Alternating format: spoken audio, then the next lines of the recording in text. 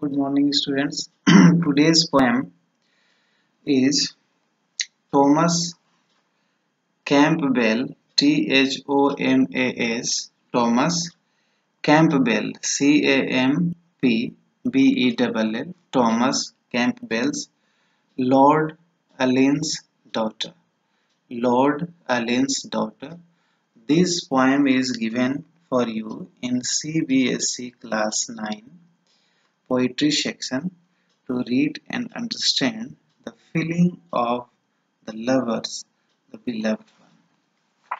So, this discussion, what we are going to do today on uh, this poem, will help you understand the gist of the poem very easily and in interesting way. This is Pranesh Kumar Mishra before you. Let's start understanding the gist and the thought lies in the poem.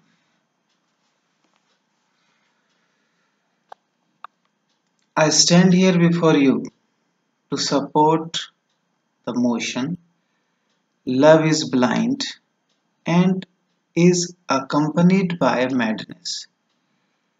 Every one of us know that love is blind and it is accompanied with together with madness it knows no boundness and restrictions. The more restrictions are there on love, the more it grows. True lovers don't bother about social status, norms, customs. Come what may, chahe jo, come what may, they want to unite. They want to be one. Lord Ullin's daughter was passionately in love with the chieftain of Ulva Island. Ulva Island. He also loved her deeply. Afraid of her father's opposition and anger, she, Lord Ullin's daughter, eloped. To run away with beloved is the term elope. Eloped with her lover. She was very much right in doing so if we say her love was okay. She had no other option to make her dreams come true. In this way, she eloped with the lover that was a right step. Had the sea not been stormy, she would have been successful in ferrying across, boating across the sea. But the poetry has melancholic tone, a tone of repentance, a tone of sadness, If I say the thought in against, then I can say or we can say that it is true that love is blind. Being blind in love, lovers don't realize the consequences, result of their decisions.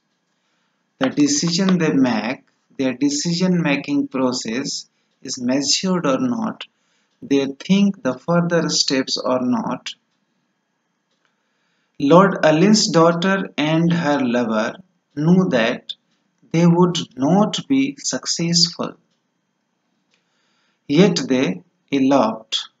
It was not right in the part of Lord Ullin's daughter to defy her father and elope with her lover. One of the thought is when they realized already that they won't be in united, then the step to elope from the house could be considered not good here.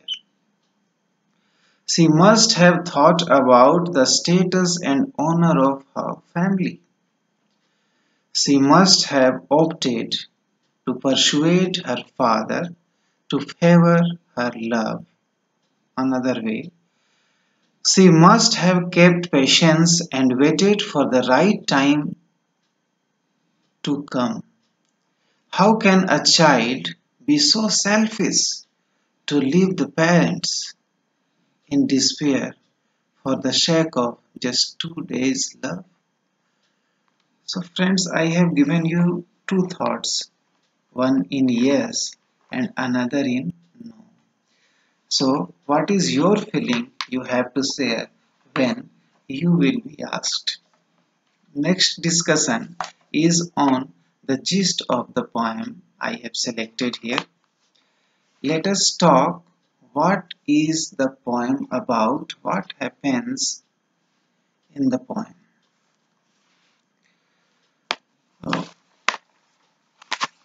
Lord Ullin's daughter's decision changes the life of many persons.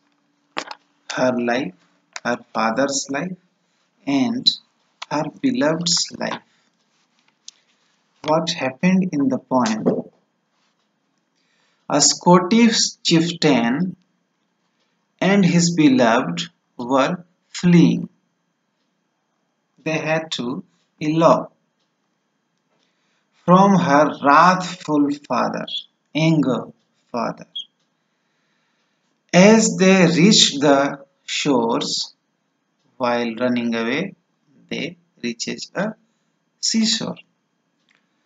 The chieftain told a boatman who was available there to ferry them, to carry them, to ferry them across Gyle, one of the place.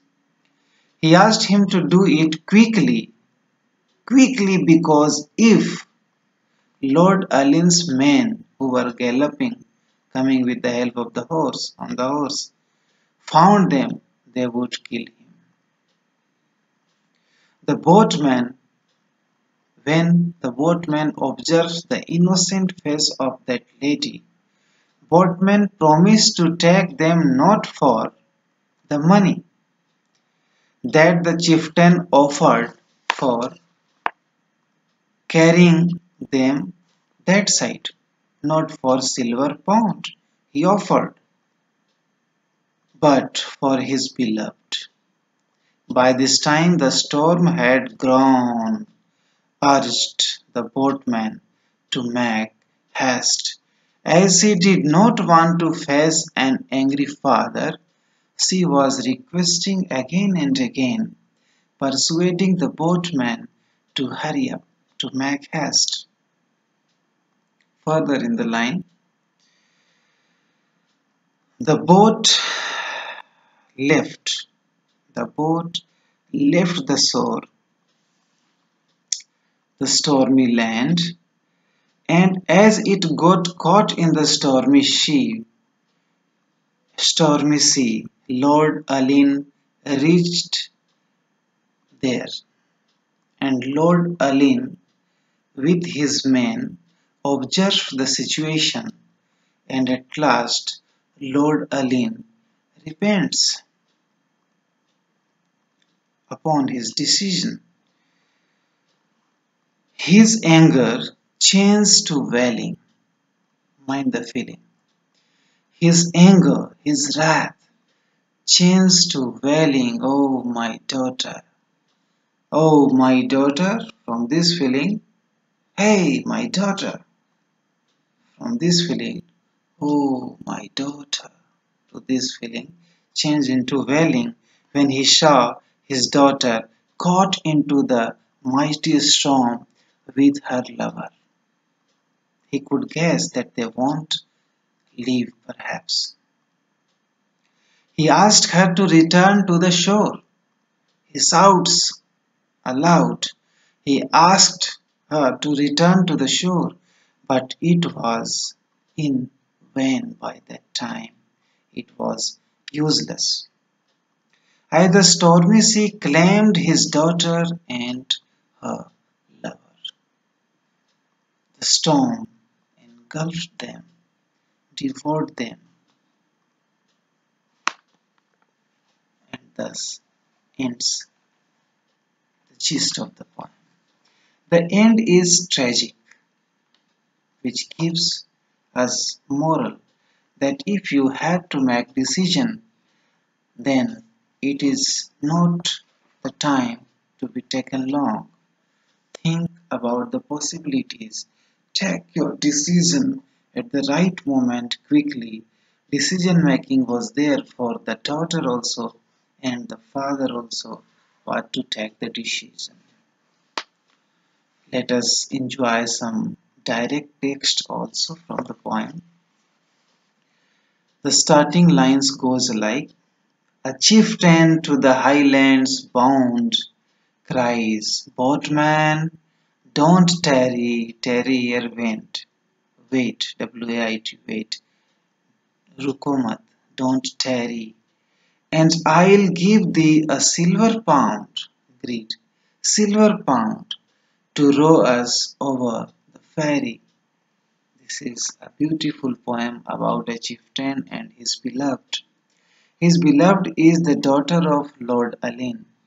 Both the lover fled from their houses. They reached at the shore and asked that boatman to carry them in his boat.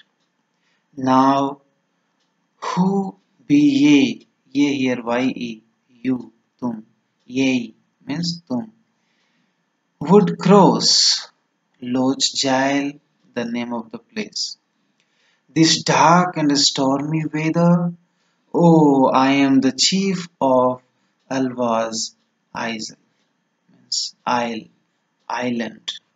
And this is introducing them to boatmen.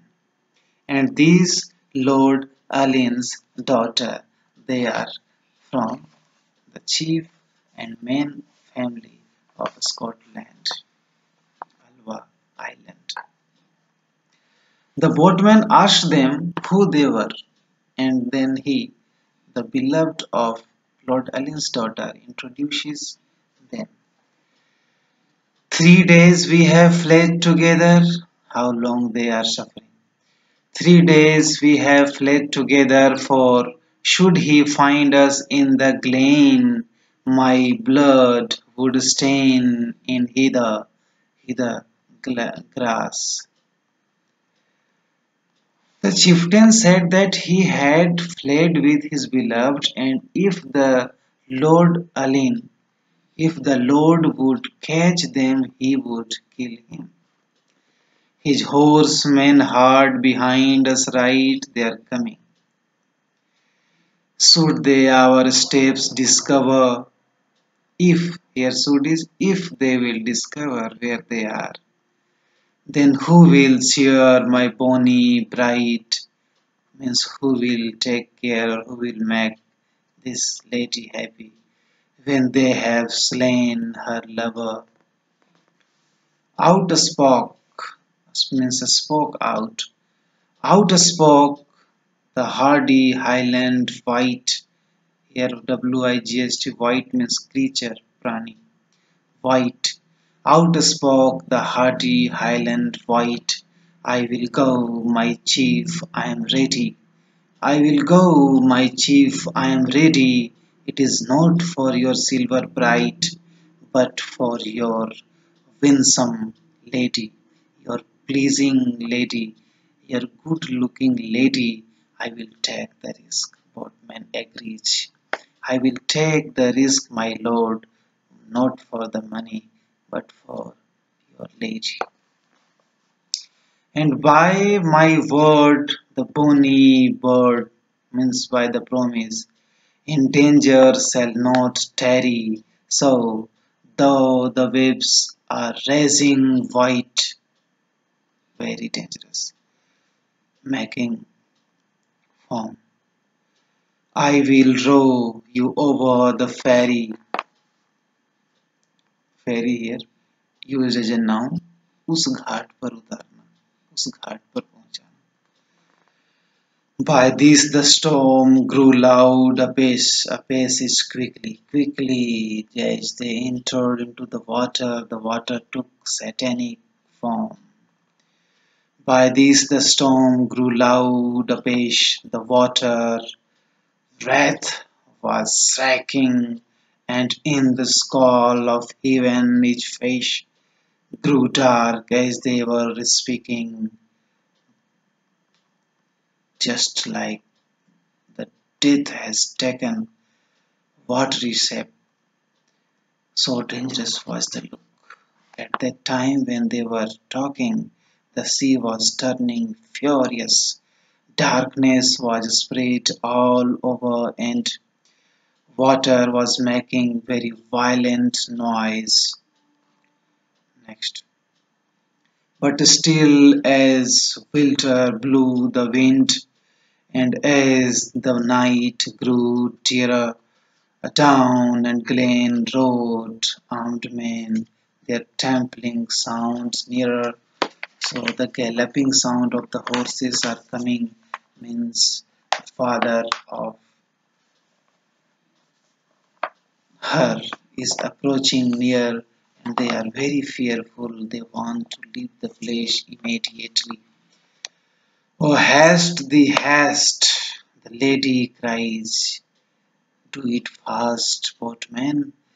My father would be reaching, please.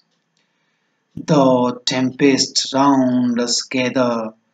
Tempest has gathered us, but please proceed, please proceed. Don't wait here at the shore.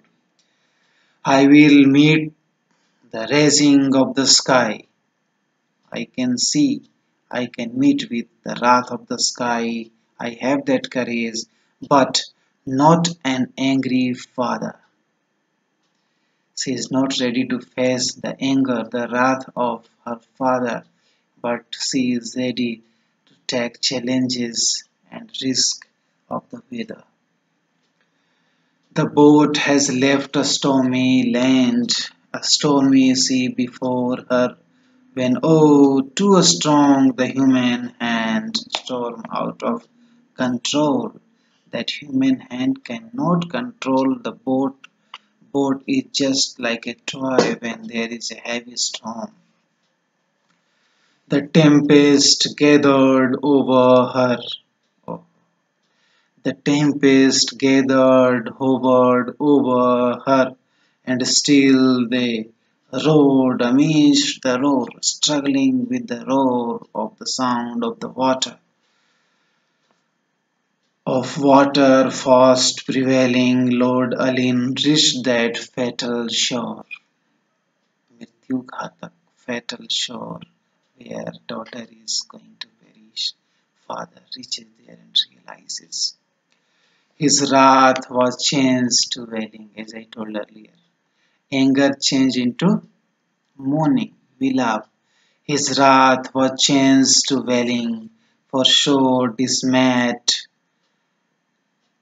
through storm and sad his child he did discover oh that my child one lovely hand she stretched for aid to help and one was round her lover she wanted to shave themselves also but was not ready to leave the lover see the situation my dear students so love is spreaded or split into two things love for life and love.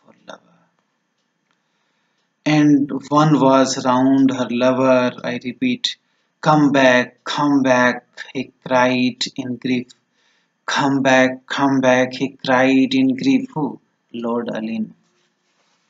Across the stormy water, and I will forgive you, O highland chief. Now, Ullin is saying that I will forgive your beloved. Please, you too come back.